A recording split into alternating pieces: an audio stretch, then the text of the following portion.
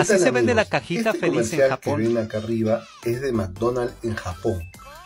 Miren cuánto detalle le dan para hacer el comercial, ¿no? Además que muestran unos juguetitos de una super calidad, ¿no? En comparación a los que tenemos aquí en Latinoamérica, en especial en Perú, ¿no? Eh, me parece muy divertido y sumamente sensorial cómo es que participan todos los actores de esta experiencia de Mario Bros.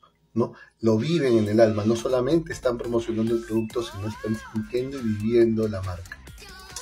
Interesante, ¿verdad? Además de que tienen pues unos juguetes sumamente interesantes.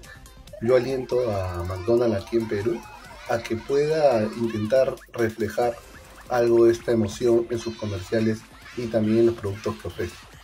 Disfrutemos de Mario Bros en Japón, vendiendo la cajita feliz.